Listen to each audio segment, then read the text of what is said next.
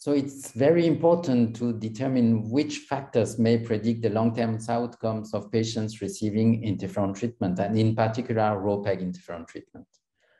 What we have observed, and as of today, interferon is the only drug able to produce such results, is that in some patients who have received the drug for several years, we can stop treatment without recurrence of the disease, meaning that the blood count remain normal, in particular in PV patients, the hematocrit below 45% with normal leukocytes and uh, platelets without phlebotomy and without further treatment after discontinuation of interferon. So what are the factors that may predict such a positive outcome that we call sometimes operational cure?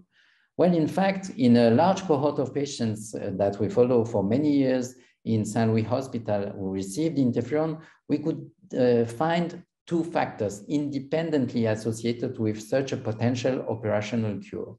The first was uh, the patients who received at least two years of interferon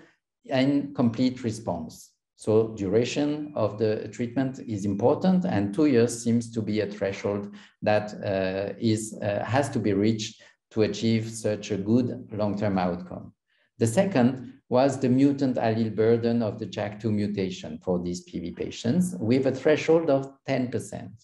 And in fact, patients who achieved both at least two years of treatment continued in complete hematological response and a JAK2 allele burden below 10% at time of discontinuation had a nice chance to remain in complete hematological response without further treatment on the very long term. For example, the rate of uh, such operational cure remained above 50% of patients after five years of follow-up and still around 40% of patients 10 years after discontinuation.